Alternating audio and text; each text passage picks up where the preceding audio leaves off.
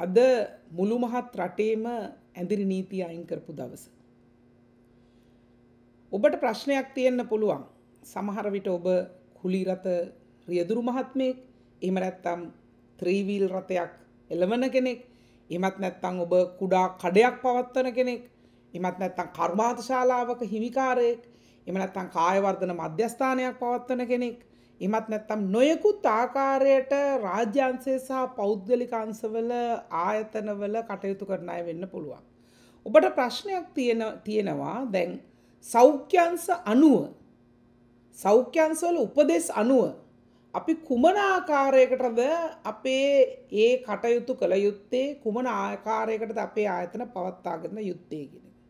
ඒ සම්බන්ධයෙන් සෞඛ්‍ය අමාත්‍යංශය සෑම අංසයකටම පිළිපැදිය යුතු කටයුතු කළ යුතු ආකාරය සම්බන්ධයෙන් උපදෙස් මාලාවක් හැම අන්සේකටම වෙන්වෙන් වශයෙන් හදල තියෙනවා.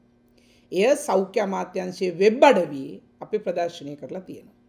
ඉදිරියේදී මෙය රටේ ජනතාවට හෙට ඉඳලා ඒ සම්බන්ධයෙන් අවශ්‍ය ප්‍රචාරාත්මක කටයුත්ත අපි ලබාදීමට කටයුතු කරනවා.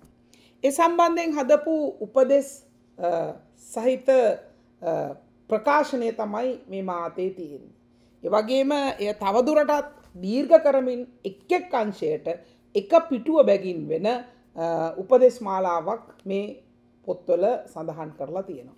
නිසා ඔබට ඔබේ කාර්ය කරගෙන යාමේ කිසිම ගැටලුවක් නැහැ. ඒ සඳහා පොලිසියෙන් ඇවිල්ලා එහෙම නැත්නම් PHI මහත්තයා ඇවිල්ලා කරදර කරයි කියන බය තබාගත යුතු නැහැ. හැබැයි ඔබ ඒ සෞඛ්‍ය අංශ කියලා තියෙන ආකාරයට මේ ඔබේ ආයතනය හෝ ඔබේ ස්වැන්රැකියාව හෝ ඔබේ ඔබ කටයුතු කරන නොයෙකුත් අංසවල ඒ සෞඛ්‍යංශ කියන ආකාරයට ඔබ පවත්වාගෙන යා යුතුයි. ඒ සම්බන්ධයෙන් මං නැවතත් කියන්න ඕනි සෞඛ්‍ය අමාත්‍යංශයේ වෙබ් අඩවියේ එක් එක් අංශ කටයුතු කරපු කට කළ යුතු ආකාරය සම්බන්ධයෙන් ඒ උපදෙස් අපි සඳහන් කරලා තියෙනවා.